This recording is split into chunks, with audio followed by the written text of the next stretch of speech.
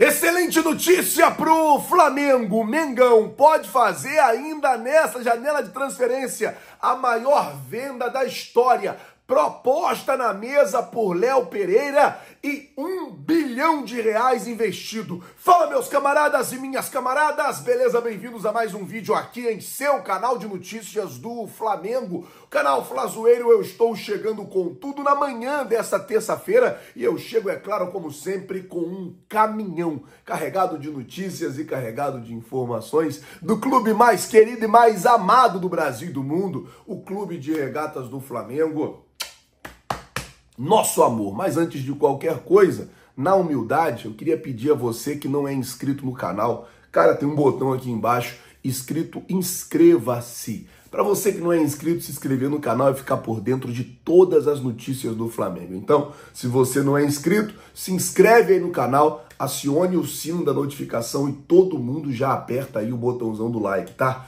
Já deixa aí o botãozão do like apertado. Bom, começar o vídeo com essa notícia porque é uma notícia legal. O Arrascaeta, ele foi eleito o jogador mais habilidoso do Brasil em uma enquete feita com jogadores que disputam o Campeonato Brasileiro. O Arrascaeta recebeu 16,2% dos votos dentre os atletas e foi eleito o jogador mais habilidoso do Brasil em 2023 e sem dúvida o Arrascaeta ele tem uma habilidade, como a gente costuma dizer, é um jogador diferenciado, mano. Com a bola no pé, sem a bola também, questão de posicionamento, é um cara muito bom de bola. Bom, vamos mudar de assunto, começar a falar agora de janela de transferência já, porque o Olympiacos ofereceu aí uma proposta de 4 milhões de euros por Léo Pereira. No entanto, o Flamengo não aceita menos que 8 milhões de euros para poder vender o jogador. Essa informação saiu lá na Grécia, né, numa rádio FM lá, uma rádio bem conhecida por lá.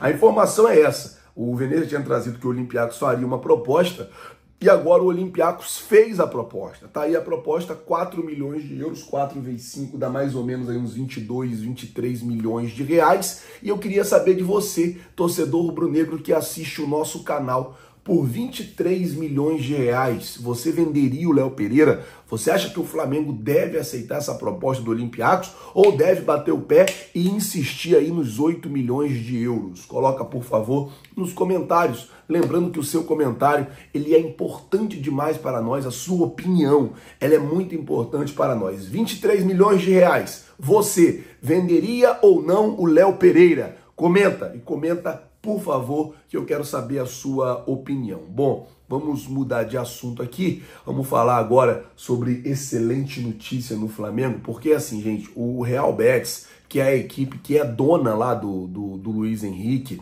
tá numa situação que precisa vender o jogador. Por quê? Eles precisam liberar espaços no elenco para jogadores que não são europeus. Então, tem um número X de jogadores lá, é igual aqui no Brasil, acho que cada equipe pode ter seis. Eu não sei quantos, qual, qual é o limite lá, mas tem um número X lá de jogadores não europeus que podem atuar é, na, nas equipes lá da Europa.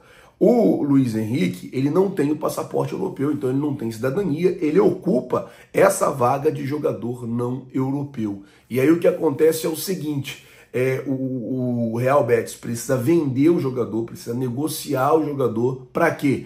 Para que libere essa vaga, para que libere esse espaço dentro do elenco. Tá rolando aquela situação, aquela concorrência do Fluminense.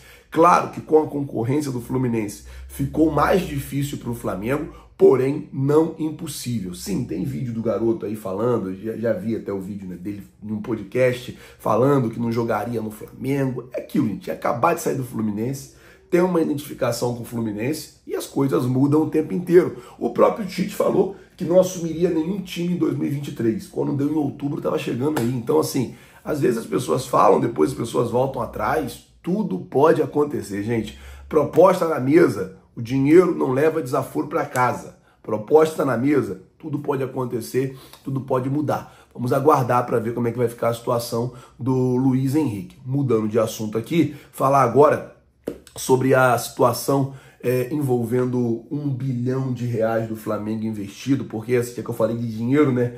O Flamengo com a compra de Dela Cruz de 2019 para cá investiu um bilhão de reais só em compra de jogadores. Que isso, Flazueiro, é verdade.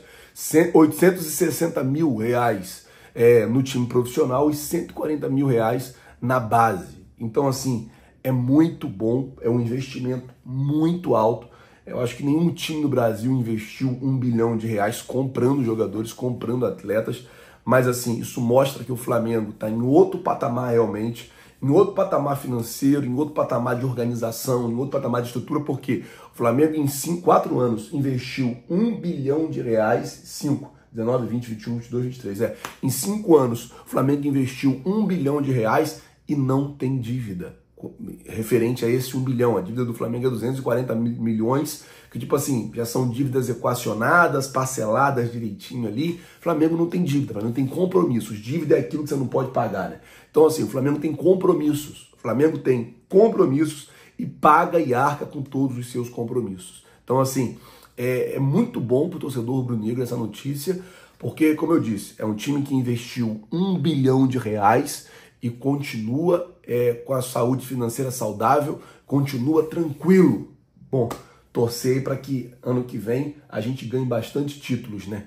Mudar de assunto aqui agora, falar de maior venda da história, porque é, a informação é que a Liga Árabe quer comprar o Pedro do Flamengo. Como é que funciona isso, Lazoeiro? Lá na Arábia é basicamente assim: a Liga compra o jogador e vê o time o qual ele vai se encaixar melhor e dá ele para esse time. Foi assim que aconteceu com o Cristiano Ronaldo, foi assim que aconteceu com o Salah, com o Mané, com com o Salah não. Foi assim que aconteceu com o Mané, foi assim que aconteceu com, com aquele outro também, cara.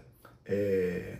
Caramba, ele joga no time do, do ele joga no time do Mané e do e do Não, ele joga no time do no time do Benzema.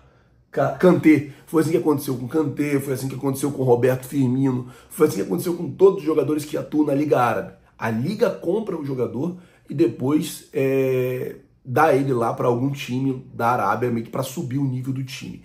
E a informação é que o Pedro, ele entrou na mira desses bilionários lá, árabes, para jogar na Liga Árabe. O Pedro tá passando férias em Dubai, é, eu acho que não tem nenhuma relação, assim, questão de reunião, de nada.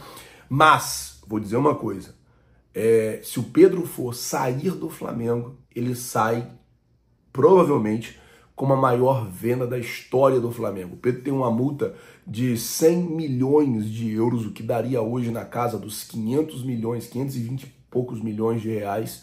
Então, assim, o Pedro tem uma multa alta. Eu não acredito que o Flamengo vá facilitar é, a saída dele. É claro que, tipo, 200 milhões de reais seria para o Flamengo a maior venda da história.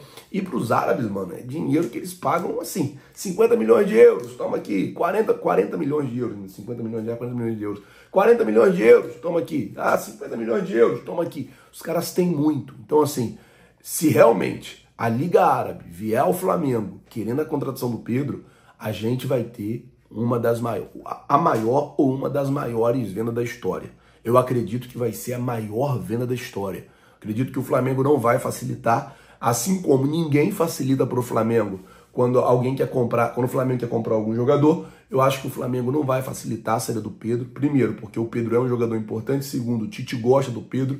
Terceiro, a liga tem dinheiro. Então os caras, se realmente eles quiserem, os caras vão abrir o cofre, os caras vão botar dinheiro na mesa e aí o Flamengo vai ter a oportunidade de ainda nessa janela, porque a informação é que eles iam atrás agora fazer a maior venda da história, da sua história. Uma liga que conta com Neymar, com Cristiano Ronaldo, conta com é, o próprio Kanté, o Sadio Mané, cara, é uma liga, Roberto Firmino, conta com muitos jogadores de renome na Europa. Pode ser que realmente cheguem no Flamengo e façam uma proposta pelo Pedro.